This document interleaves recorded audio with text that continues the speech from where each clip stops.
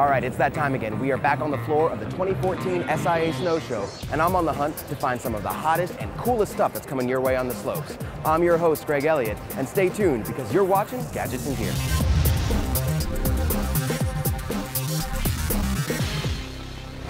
All right, I'm here with Hunter at the K2 snowboarding booth. Big name in the industry, you've probably heard of him. He's got a new board and a new binding he's gonna talk about. Hunter, can you tell me a little bit about him? All right, great.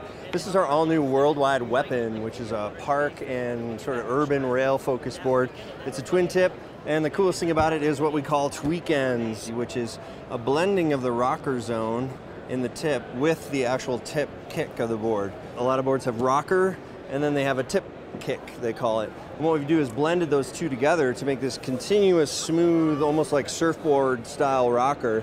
It's really smooth and continuous so that you can use the whole board way out to the tip. You can press way out on the end and it doesn't have that loop out that a lot of rocker boards have. It supports you all the way to the end of the board. It's get really cool presses on rails. It's a really fun technology that also is easy to use.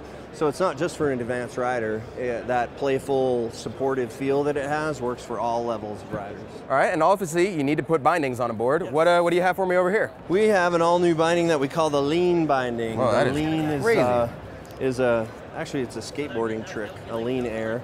Um, and it's, it's just all about being biomechanically correct, which sounds really nerdy, but um, I'm okay with nerdy. Yeah, it uh, we basically took the human foot and built this from that uh, geometry out. So things like this contact point is not in the center of the binding, it's shifted to the outside, which is true of your foot. It's all about working the way your body works. It flexes the way your body works and it transmits your power the way that your body does.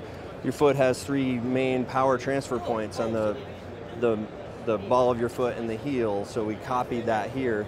Um, and it also flexes so you can see this peels away and you can see that the binding is mounted to the board with these pods and then the ring around the insert uh, disc.